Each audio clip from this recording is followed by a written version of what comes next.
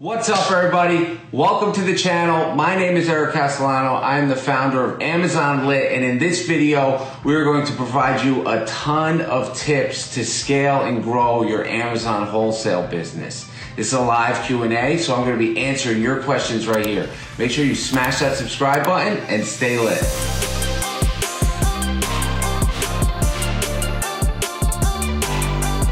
So just put your comments or your questions in the comments, and I'll be happy to answer them.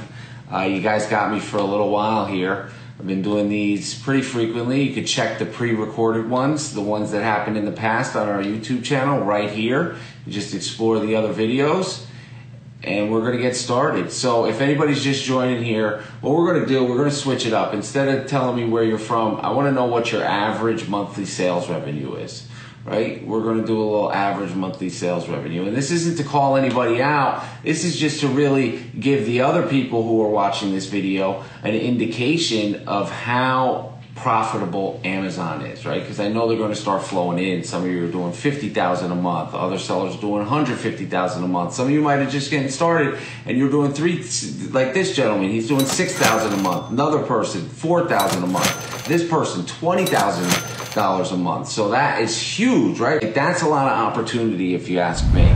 Um, so it looks like we got some question here. Um, how can I track the profit from a single FBA shipment? You would literally have to do it SKU by SKU. Uh, we, I don't know why you'd want to do that either. Um, I guess if you want to get real granular, you can track your specific profit for an FBA shipment. It's going to take some pulling of reports on your end. And if you're using Overpricer, that will help as well. Because if you only sent specific products that you haven't sold in the past, didn't have inventory of any of those products in stock already, then really that will create an easier method to kind of track those specific products for those new ASINs that you're sending in. But I, I would like to know why you want to track profits for a specific shipment instead of just on a weekly or monthly basis. That's what we do over here. We track profits on a monthly basis and we compare them to the month prior and then we track them on a weekly basis. We could track them to the week prior and we track them on a quarterly and annual basis as well. Just bought the course. However the new storage limits are screwing me over with growth. Any advice trying to get around this? Yeah absolutely i got some advice so this would be great for you, FBA James, to go to the eSellers RI private Facebook group that only members of the course have access to. Um, and you can actually see uh, what we talk about as far as requesting storage increase. All right, so for anybody struggling with storage limits, what you're gonna wanna do is before creating a case to have your storage limits increased, make sure that your past 90 day ordered units is greater than your storage limit right? So you want to analyze your past 90 days of sales and make sure that that number is greater than your storage limit. Because what Amazon's doing, this is just a presumption based on our experience in the industry. What Amazon's doing is they're saying, hey, we're going to analyze your past 90 days of sales and we're going to give you a storage limit that's indicative of that number, right? So let's say in the past 90 days you sold 10,000 units. Your storage limit is probably going to be around that 10,000 unit mark. So before you even consider creating a case to, to increase your storage limits, you want to make sure that you're selling more inventory than what you've sold in the past 90 days and it's greater than your inventory storage limit. And then there's a few things they want you to request, right? Um, the type of increase is it standard? Is it oversized? Is it for apparel? Is it for hazmat? Also, your de- desired inventory limit, right? Is and it has to be in cubic feet. They want to see it in cubic feet, as well as a detailed business justification for this increase. When I say detailed, I do not mean, hey, I have some SKUs I'm trying to send in. I would like an increase in storage. Detailed, like what is your game plan, right? What are your plans to grow your business with Amazon? You got to outline that for them in bullet points, preferably, right? Because they're analyzing this stuff, and a lot of times they're using these softwares that are just scraping for data. So they might not even look at it. Um, we've had some of our members in eSellers RI recently submit inventory storage limit increases, and they get responses like you have an individual selling plan when really they have a professional seller account. So it's this happens all the time. Amazon just uses softwares to scrape these cases and then some of them make it through and some of them get auto responses. So that should be helpful. And also, FBA James, there's a ton of info in our private Facebook group for course members like yourself to gain more insight about that information. 30K, we'll compare with 30K. So if you're just joining here, put your your average monthly sales on Amazon in the comments. Right now, we got about 60 to 70k between six or seven of you. Uh, we got Amazon, somebody with 60k. We got Chris Miller with 75k. Amazing. So we got a question from Kevin. Any recommendations? I got suspended for forged documents, but I bought it from a reputable wholesaler and have bank statements, invoice, everything. I just highlighted it. Yeah, so they shouldn't give you forged documents if you just highlighted the information. Most likely something on that invoice looks off, right? Forged documents, it's not a minor offense, right, with Amazon. They take that stuff really seriously. So, listen, we've dealt with a lot of suspensions, not only our own, but also hundreds of other clients who've reached out to us to get their account reinstated. And I'm yet to ever see anybody, usually the truth comes out, right? And I, I don't know you, Kevin. I don't know you if um, we're just discussing this here, right? But usually, if it's a forged document complaint and a suspension because of a forged document, usually it's because the seller forged a document, right? So I would encourage you to get honest with yourself if that's something you did and really analyze your business structure and your business model and start trying to operate a legitimate, honest, and integrity fueled business. Now, that might not be the case right? So you would have to create a POA and explain that to Amazon that there was no editing of this document. But most likely, if you did edit it, that's a no-no for, for selling on Amazon. Amazon does not want to see that. They're kicking sellers off left and right for people who are not operating legitimate businesses. Let's see what else we got here. We got 150K from Kevin, who's the same gentleman who just asked about the suspension. We got 30K from Allegiant, great. All right, and Davy Jones says, I have found all products eventually tank and very rarely recover. Do you have any advice? Uh, I would like to ask you this, Davy Jones. You're, I'm assuming you're doing retail arbitrage because if you're doing wholesale, usually prices won't tank drastically when you're doing wholesale because most of the people are getting them from the same or similar prices, give or take a quarter, a nickel, a dime here. But for the most part, we're using some of the same distributors or similar distributors, and we, we shop around to multiple distributors and wholesalers, and we compare catalogs. And most of the time, you know, you'll find the same products within a quarter or a nickel or a dime within each other of the price point. So usually price tanking happens with retail arbitrage, online arbitrage, especially if you're using lists right? If you're purchasing lead lists from one of these uh, Instagram accounts or Facebook accounts or Discord groups, that's a that leaves a high probability for price tanking because they say, hey, we gave this list to 10 people, right? But really they gave it to 30 people, and then out of those 30 people, five of them gave it to two other people. So now you got 50 people buying the same product. It looks amazing when you research it. A couple days later, there's 30 sellers in stock, and now they're all competing for the buy box, and the price is just driving down. Uh, but there's indicators to look out for when a price is about to tank on a listing. And a good indicator is a is an increase in rank. So the green rank line will be going up like this and a decrease in price over the course of a few weeks. So if that chart looks like that where the rank's going up and the price is going down, that's a good indication that that price is on its way to tanking and I would probably stay away from it or go way less aggressive on my purchase order. Good pricing strategy. So this gentleman or woman asked what is a good pricing strategy. So a good pricing strategy is match the buy box, right? Match the buy box is a good pricing strategy. And for anybody who's not using a repricer, you should be using a repricer. Repricer will change the game for you. You should definitely be using a repricer. Uh, we got some other sales coming in. My homeboy, good friend of mine, the Money Badgers, is doing 30k a month We also got buy low, sell Heinz doing 70K a month just between those two gentlemen right there. You're talking about $1.2 million in sales revenue a month. Even at a, let's say, a 15% net profit, even 12% net profit, you're talking about $150,000 um, a year in net profits that those two gentlemen combined are producing. All right, we got this other seller here. I just started like three months ago and I'm at 5K a month, still grinding. See, that's what I love. There's not many business models where you can literally start it three months ago and three months in you're doing five, seven, ten thousand dollars a month in sales. Like that's amazing. That's impressive if you ask me.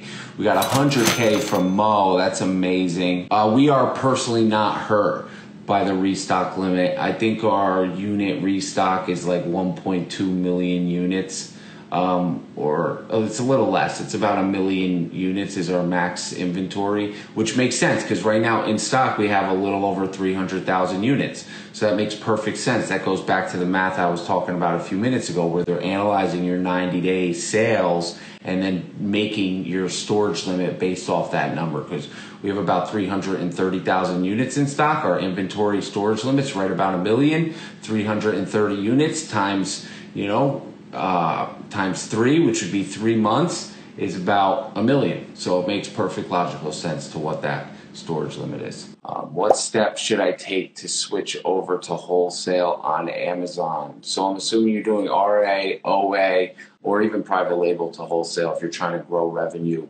Would be first you need to contact a bunch of distributors and wholesalers, right? The foundation of the wholesale business is in the relationships that you build with your vendors. So it's crucial to really reach out, get uncomfortable, build these relationships, and get pricing catalogs and start sourcing through those pricing catalogs so you could start finding profitable products. Also, the second thing I'll touch on is there's going to be a lot of fear involved with the transition because it's a new business model, right? You're going to be dishing out higher cost of goods because you're going to have to be placing orders that are, you know, $1,500, $5,000, $8,000. So that's a lot more money than you're probably going to go spend at Ross or, or Marshalls, you know, or TJ Maxx. You might be spending 800 a thousand bucks there but now you're going to be dishing out more money. So there's a lot of fear there.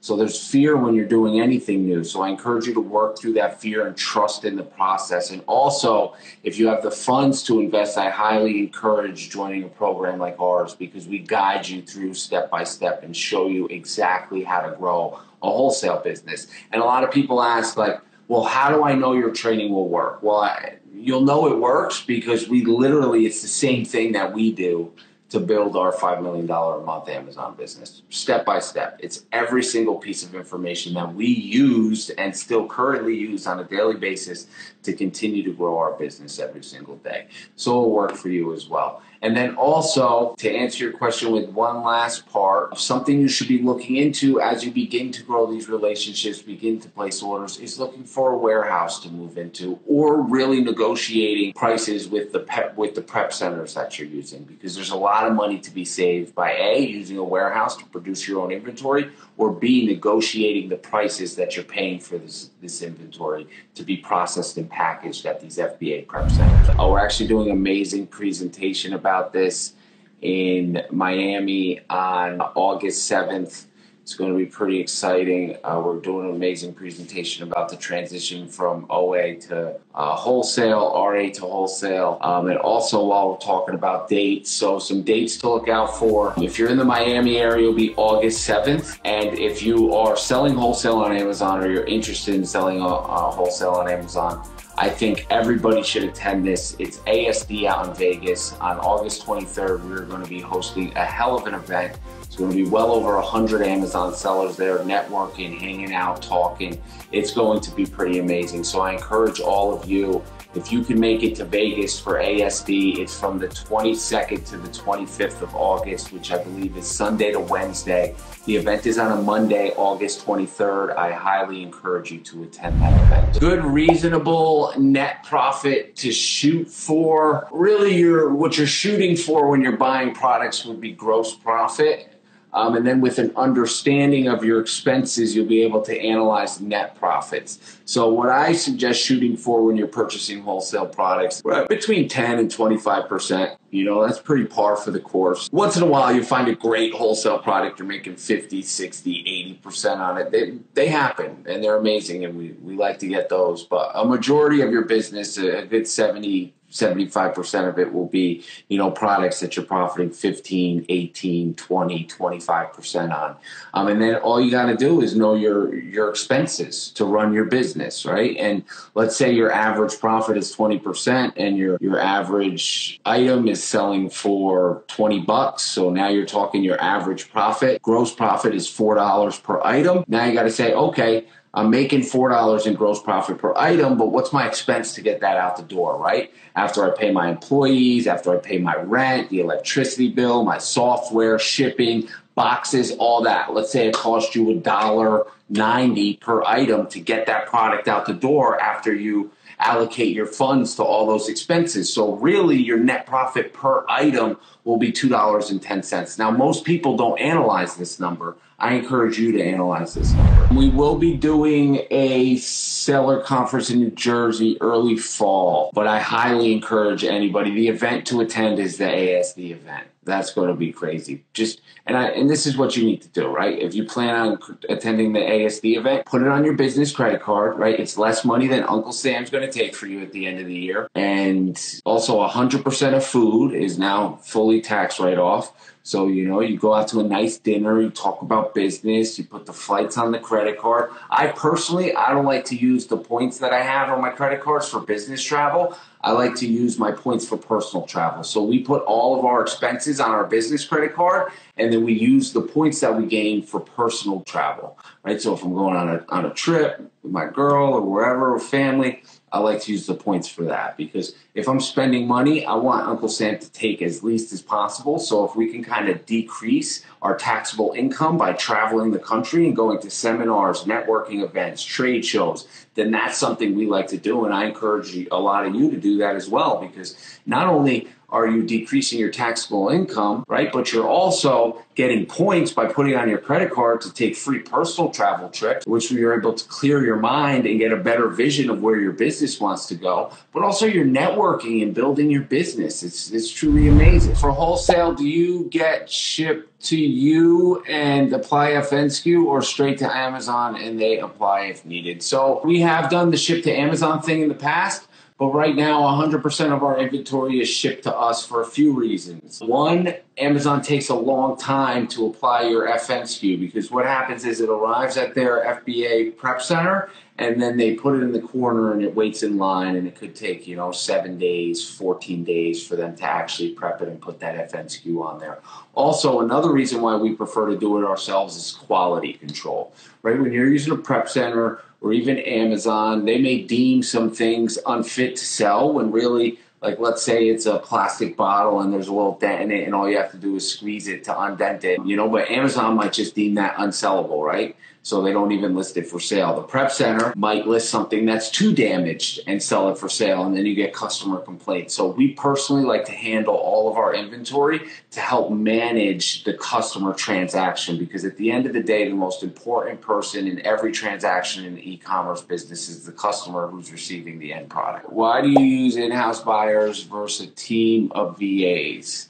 Uh, we prefer in-house buyers because they're just so much easier to train right there. It's a little more motivating when you just have the whole team there in person. Our buyers crush it. Yeah, you got to pay them a little more or a lot more. You ain't going to be paying no in-house buyer three, four dollars an hour. But also, I'm a firm believer that you get what you pay for. Right, and we've used VAs in the past, and we've just never had an amazing experience. I've never met a VA who was buying for us who I was like, wow, I'm super impressed with this person's buying capabilities. That's just never happened for us. Hopefully that happens for you, but for us, it's just never happened. Just registered for ASD. Can't wait to shake your hand. Absolutely.